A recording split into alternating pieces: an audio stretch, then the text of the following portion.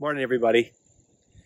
The French Revolution had many dramatic moments, and one of them happened on this date, October 5, in 1789, a few months after the fall of the Bastille, when the women of Paris marched out to Versailles to put pressure on the king and the assembly.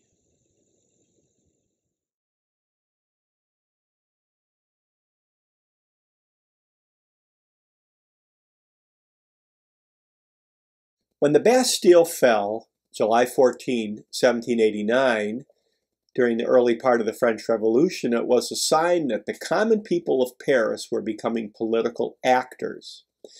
Now, there had been really bad harvests for a couple of years, and hunger, starvation was really on the mind of the urban poor, especially in Paris. And they were really focused on the price of bread. Bread was really expensive. Sometimes a laborer would spend almost half of his income just on bread. So here's the scene. Note Versailles on the left, that's where the royal family lived. Downtown Paris on the right, it's about 10 or 11 miles, and that's the distance the women walked on this date in 1789. So here's the group out at Versailles. So the king was here, the court, also the assembly, and the people of Paris felt that they were really out of touch with what was actually going on in the city.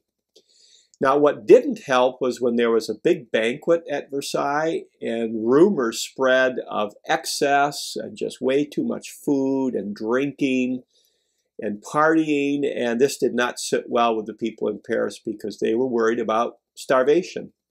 Well, on the morning of October 5, a young woman struck a marching drum at the edge of a group of market women, and they headed out to Versailles.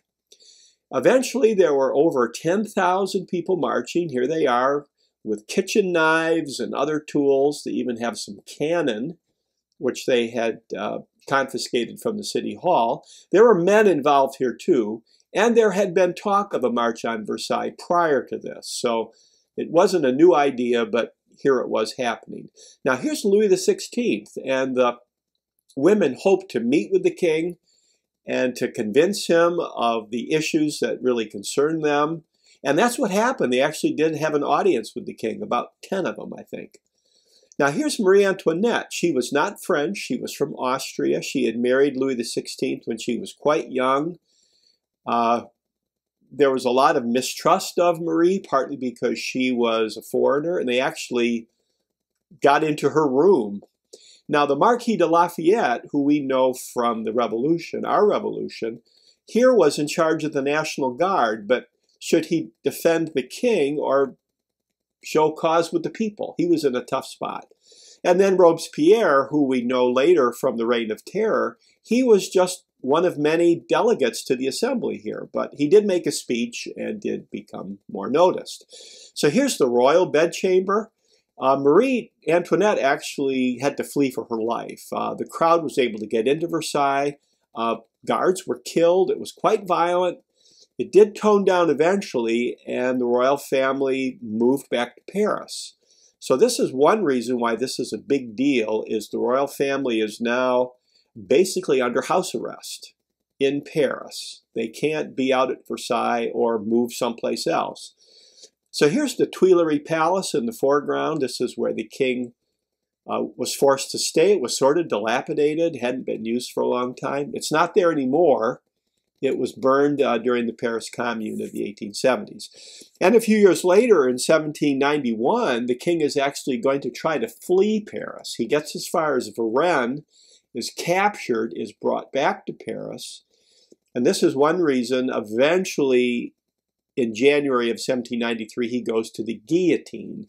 But you could make the case that if he hadn't been forced back to Paris, he wouldn't have tried to flee. And of course, that made him look like he was against the revolution.